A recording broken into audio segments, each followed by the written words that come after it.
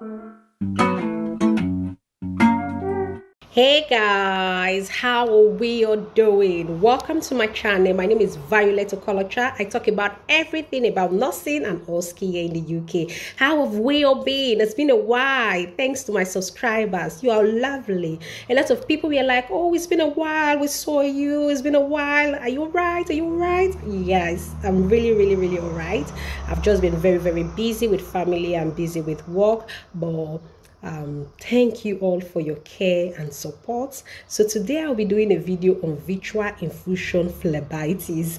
If you see my email, please can you do a video on this? So guys, I'm in. I'm fully in. This week, I'll do a video of visual infusion phlebitis and I'll also do a video on pressure risk assessments. I, am going to work on all the new skills and all skills. So you'll have them this week and next week, hopefully by the special grace of God. So before I do this video, I really want to say big congratulations to my friends who passed their OSCE exam. Intelligent nurses, wonderful nurses, articulated nurses. You guys are just too much. Even those who had one or two receipts, you know, and we talked about it, they've all cleared. So guys, I'm super proud of you. Welcome to your band 5 rows and big congratulations to you all. So let's get started into our video for today. Before we do that, if you've not subscribed to my channel, if you've not liked my video, guys, please, you have to keep on encouraging me.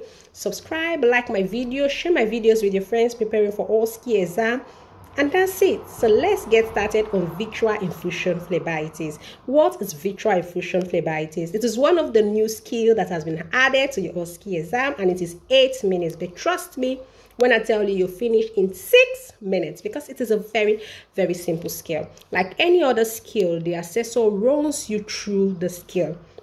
And she, she can say to you like this, um, VIP, um, hello, your new skill, your next skill will be visual infusion phlebitis. You have your mannequin, I'll be answering for your mannequin, and you have your photograph. Are you happy to start the skill? So she runs you through the skill and she asks you if you have any question. If you ask, ask, but you shouldn't have any question because it's a straight forward skill. So now, what do you expect to get in this skill? Like I said, a mannequin who has a cannula on her hand or on his hand and a photograph on the table. It is the photograph you use to assess the mannequin's hand because you know you can see redness on the mannequin's hand, you can't see any swelling, you know, it's not possible. So it is the photograph you use to what to assess. Now, what are you assessing for? Number one, redness.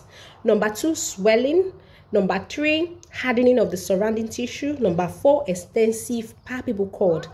Pain, you can't see pain on the photograph. You have to ask the mannequin if he or she is having any pain. And remember, the assessor answers for what? For the mannequin. So that's all about the station. Very simple. Before I practicalize the station, I'll run you through the five markers of VIP. VIP 0, the cannula site appears healthy. I'll show you a photograph. In VIP 0, the cannula site appears healthy. There is no what? Phlebitis. And what is phlebitis? It's an inflammation of the vein. It can be caused by mechanical reason where the cannula used is too big for the vein or some of the medication given to the patient is too harsh so the vein gets inflamed. So phlebitis is an inflammation of the vein. Like I said, there are five markers. In a short form, I'll call it VIP. Now, I want to acknowledge the internet. That's where I got this photograph from. This is a clear VIP zero. Is this picture clear enough? Yes, it is clear enough. There is no redness in this photograph. There is no swelling in this photograph. There is no hardening of the surrounding tissue. So this is VIP zero. The cannula site appears healthy. So if you have such photograph on your exam, go ahead and flush the cannula. The cannula site appears healthy and this is VIP zero. Now, for VIP 1, there is either slight pain or redness. There is slight pain or redness. And like I said to you, you can't see pain on the photograph. You can see redness and the rest. You have to ask your patient if he or she is having pain. And remember, the assessor answers for the patient. So now I show you a photograph of VIP 1. Remember I said either slight pain or redness. Now look at this photograph very well. The redness is what is evidence there is redness in this photograph and this is what VIP 1 if there is no redness on the photograph you can ask the the patient are you having any pain and if she's having any pain score the pain and you can just use your intellectual quotient and you know where it falls in. Using your IQ alone just tells you where it falls in. So now VIP 1, like I said, either slight pain or redness. Really simple, very simple. Now let's go to VIP 2. VIP 2, two pointers must be present. Either there is pain, redness, or swelling. So out of these three I've mentioned, two must be present. Redness, swelling, then pain. Now look clearly at VIP 2. Did you see redness here? Yes. Very evident. There is redness, there is swelling. You can see it. Redness is there, swelling is there. So this is a clear photograph of what? Of VIP 2. So either of these three I've mentioned, two must be present. Redness, swelling, and what? And pain. And like I said for pain, you can't see on the photograph. You have to proceed to what? To ask the patient. Now let's go to what? VIP 3. In VIP 3, there is pain, there is redness, there is swelling, and there is hardening of the surrounding tissues. Pain, redness, swelling, and hardening of the surrounding tissue. Now, look at this photograph. This is a photograph of VIP 3. There is redness there is swelling if you look at it it looks like a scar towards this area it looks like a scar so that is the hardening of the surrounding tissue now for vip 4 there is pain, there is redness, there is hardening of the surrounding tissue, there is swelling, and there is what? Extensive palpable venous cord. I'll show it to you in a minute. This is what VIP 4. Very evident. There is pain, there is redness, there is swelling, and there is extensive palpable venous cord. You can see it redness is there. Extensive. You can see how how it's pointing. Extensive venous palpable cord. It's really easy guys. When i practicalize the scale you will understand this better.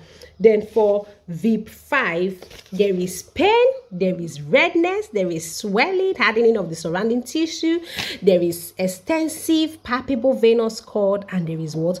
Pyrexia. Really really simple guys. Now note this you can only flush the cannula if it's VIP 0 or VIP 1. Never flush the cannula if you have VIP 2, if you have VIP 3, if you have VIP 4, if you have VIP 5.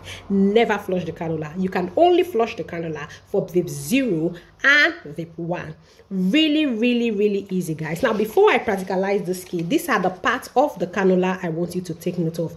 This is the positive pressure cap or the pod pod or positive pressure cap. This is the clamp.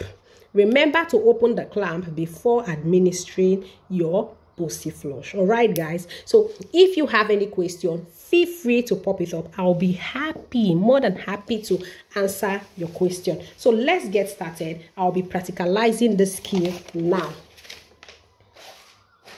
Hello, are you all right?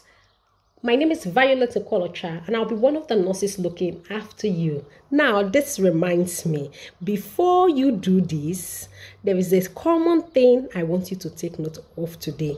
What if your assessor tells you, Assume you've checked for scene safety, assume you've provided privacy to your patient, and assume you've done your hand hygiene. What will you do? A lot of people say, I get thrown off balance. Please, guys, don't be thrown off balance. If your sister tells you, assume you checked for scene safety, assume you provided privacy, and assume you've done your hygiene, just go straight to your patient. Hello, my lovely. My name is Violet, and I'll be one of the nurses looking after you today. Is it all right if I confirm your full name and date of birth? Don't be thrown off, guys. Like I keep saying to every one of us, OSCE is one of the simplest. Azar. Let's get started into the skill. I'll start from the finish, from the um, beginning to the end. All right.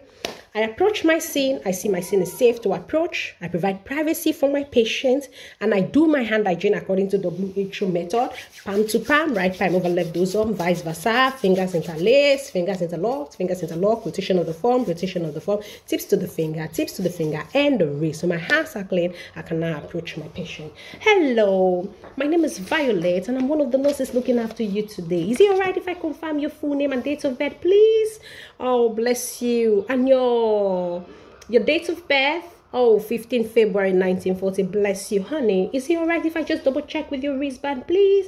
I have here John Brooks, date of birth 15 February 1940, hospital number 10010. I said so with the paperwork on my hand. I can confirm I have the right patient. John, can I just confirm with you? Do you have any allergies at all to foods, to drugs, to latex, or adhesive, please?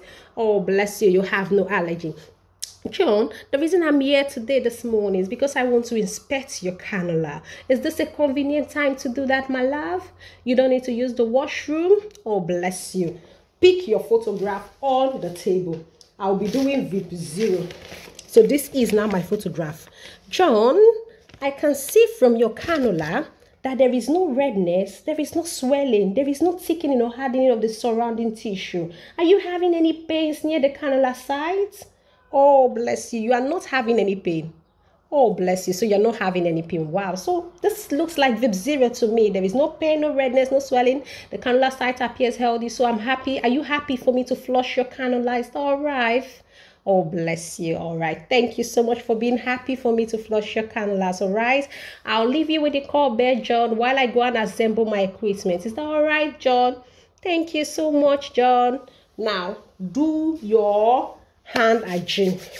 After doing your hand hygiene, pick your prescription chart. This is a prescription for John Brooks. The patient name is there. The doctor's signature is there. The bleep number is there. And it's being prescribed three mils of Flush. All right.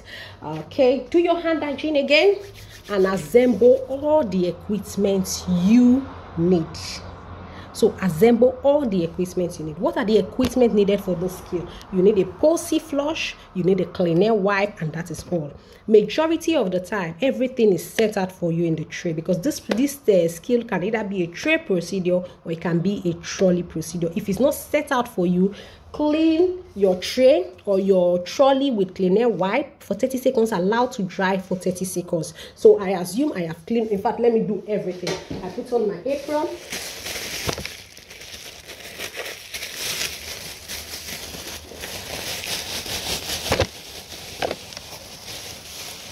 So remember, I've done my hand hygiene. I put on my apron. I put on my gloves. Validate all your equipment.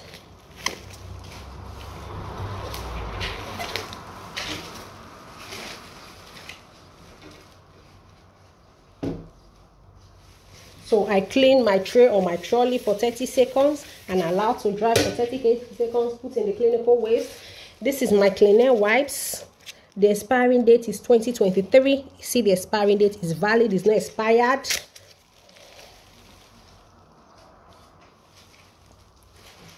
This is my cleaner wipe its expiring date is 2023 it's not expired. This is my PosiFlush my pre-filled syringe. The expiring date is 2022 it's not expired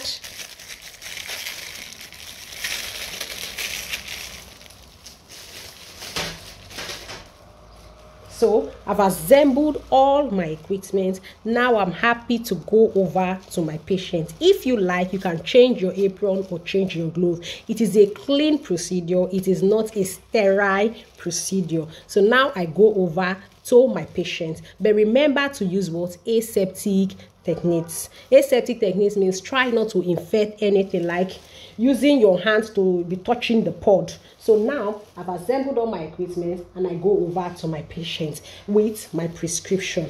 Hello, John. Are you all right, my love? John, I'm back. Are you sure it's a convenient time? Oh, it's a convenient time. All right. So I'm back, John. Can I just confirm again your name and date of birth? Okay, John Brooks, date of birth 15 February 1940, hospital number 10010. And John, can you also confirm to me that you have no allergy at all to normal saline, to anything? Oh, bless you, you have no allergy. All right, John, let's go ahead. So you see, I validated my patients uh, I've validated my equipment, I've validated my patient name. So I've done all the rights of medication. Verbalize that, that you've completed all the rights of medication. I have the right patient, I have the right drug, it is going to the right route, the doctor's signature is this. So I've validated, in fact, I've, I've, I've completed all the rights of what? Of medication. Now, the next thing is to clean the pod. You can hold this the way I'm holding.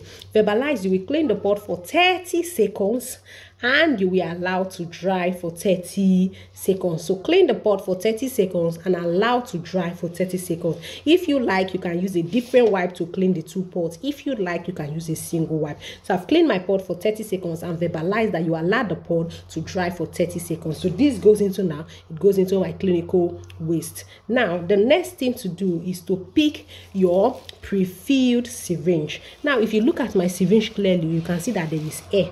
Endeavor to expel all the air in the syringe. How do you expel it? Just losing this a bit. I'm sorry. Losing this a bit and you push. You can see the air is all out. And take the out put in the clinical waste and attach this to the pod or the positive pressure cap. So it's attached now to the pod. Now what do you have to do? Use aseptic techniques. You see the way i attach it to the pod? I didn't use my hand to touch it. That is aseptic techniques in this scale. I attach to the pod. The next thing to do is to release the clamp. I've released the clamp. After releasing the clamp you push your posy flush. From the prescription we are told stream is push your posy flush or your pre-filled syringe using a stop-start technique or a pulsating action. What is a stop-start technique or a pulsating action? Start, stop. You see it? You see it? Start, stop. So if you like, you can leave 0.3 mils of normal saline left in the syringe. If you don't like, you can flush it or it really doesn't really matter. So you push. Hello, my love. Are you having any pain as I'm flushing your cannula? Oh, bless you. You are not having any pain. That's good. So now I finish flushing. What do I have to do? I take my syringe out of this, put in the clinical waste. All right.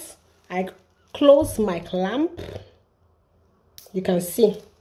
Then i clean my pot for 30 seconds and i allow to dry for 30 seconds. All right Tony thank you so much for your cooperation. All done for you. Your cannula is patent all right? So we'll monitor your cannula within 12 to 24 hours all right? So we'll keep monitoring the cannula just to know when it's not all right. Is that all right? I will just sign the prescription just to say i flushed your cannula. Is that all right my love? That's all right so pick your bio. Yeah, I found my bio. And sign. I have signed. I have put in dates. I have put in date and I have put in time. So I have signed. I have given this medication. Remember before you sign, take away your glove, take away your apron. All right. So take them all away. You can see i'm doing this video on my own because i've been so busy. I've been really busy to even you know it's really been hectic. But i hope i've been able to pass the skill enough to you. All right? So what if it's vip 1 if it's vip 1 you see a slight redness or the patient have pain go ahead and ask. In a scale of 0 to 10 0 being the least and 10 being the highest what is your pain score you know? And if you say two or three you can still go ahead and flush. Now somebody will say oh what if i have vip 2 what if i have vip 2 you said you cannot flush for vip 2 if you have vip 2 you are not allowed to flush. You have to verbalize that you will discuss with the doctor and you will take the cannula out and discuss with the doctor. Probably he may like to start on antibiotics for the patient. But don't worry too much. I'm sure you will get vip 0 or vip 1 because they actually want you to practicalize this skill. So guys thank you so much for watching. Thank you for your support. Don't forget if your assessor tells you assume you've provided privacy for your patient assume you've done your hand hygiene and assume you checked for sin safety go ahead and introduce yourself to the patient. Ask for any allergy remember to inspect the cannula site with the photograph. I can see from your cannula i can see the photograph oh. i can see from your cannula site your cannula appears healthy or there's slight redness. Are you having any pain? And if the patient is having any pain in a scale of 0 to 10 and don't forget to sign sign because you've given it validate your equipment it's a very simple skill, guys. So thanks for watching. I really love you all. Thank you so much for your support. The support is massive. I can see we've hit over a thousand subscribers. Guys, I love you all. Feel free to pop up any question, anything that bothers you. Ask me. I'll try my best to answer. I love you all. I will see you hopefully two or three days time or next week on pressure risk assessment and until then keep passing your OSCE exam i love you all bye guys bye